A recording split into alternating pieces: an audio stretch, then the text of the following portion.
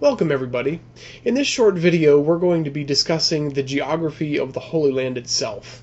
In another video I want to focus on the geography of the Middle East at large. However, we'll be focusing just on the Holy Land in this one.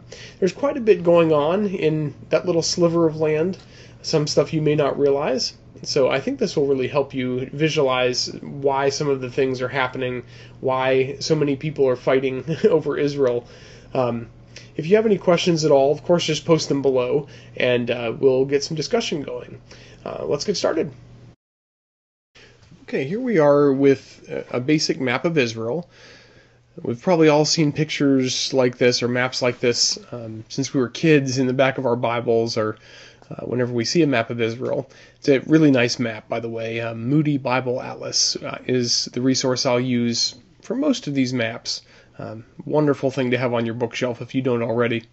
But um, I want to focus on a view of the Holy Land that I think may be a little more helpful, and that's this one. Um, as you can see, there are you know different regions in Israel, basically uh, that this highlights, and I want to focus on those because I think it'll help you uh, understand, especially early Israel. But um, let's focus in on this one. Starting in the west, we have what's known as the coastal plain. This was and still is wonderful farmland. Um, a lot of rivers running through, a lot of irrigation for crops, and uh, just a wonderful place to settle and, gr- and grow food for your family.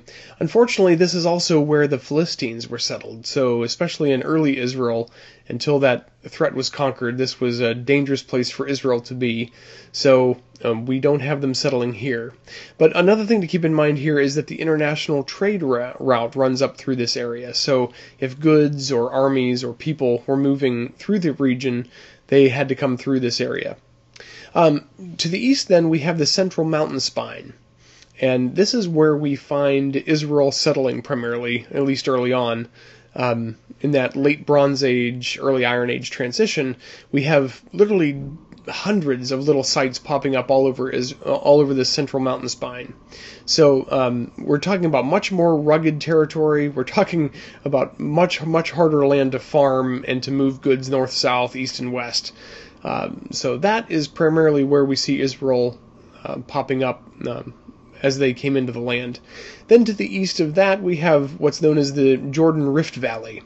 This is a um, huge drop uh, from the central mountain spine um, down into this valley, and um, you might be thinking that the Jordan River must have good water, right, for farms and for uh, crops, etc., for uh, cattle. Um, but this is also along a really active fault line, and I hope we can take a closer look at that in, in the next video. But it's constantly pumping minerals up into the water. So, Sea of Galilee is clean and pure. Uh, moving south, uh, especially down into the Dead Sea, but all along the Jordan, we have salty water, so no good for farming. Um, to the east, uh, again, we have what's known as the um, Transjordan Plateau. Um, this would have been the land of Moab and uh, Ammon, so enemies of Israel. Uh, actually, two and a half tribes of Israel settled over here, but um, this was, uh, again, pretty rugged territory. So uh, let's take a, a, look at a different view uh, that may help you visualize this a little better. Okay, this is the same thing we were looking at just now. We have the coastal plain, the central mountain spine, dropping down to the Jordan Rift Valley, and the Transjordan Plateau. Um, just look at that drop between Jerusalem and the Dead Sea, for example, uh, going from 2,540 feet above sea level down to 1,302 below. Um, so if, if you leave Jerusalem and it's in the 60s, 50s, 60s, and you have a jacket on, you get down to the Dead Sea and you're in the desert, it might be in the 80s. So it's quite extraordinary. Well, that wraps up our quick look at geography of the Holy Land. Hopefully, now you can picture a little bit more of what's going on strategically. Um, if uh, um, someone controlled that international road running up through the coastal plain, um, it cut right through the mountains um, at Megiddo. Megiddo guarded one of the only passes um, through those mountains for the international road. So if someone controlled that area, they could control um, trade. They could tax what was moving north and south. They could um, certainly protect themselves against armies that were trying to invade.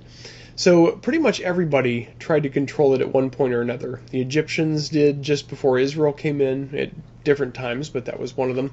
Um, the Assyrians did. Um, Babylonians, of course, did. Romans, pretty much everybody did. Um, this was a very strategic little piece of land. So hopefully that helps you. Um, of course, if you have questions, post them below, and I'd be more than happy to help. Have a great night.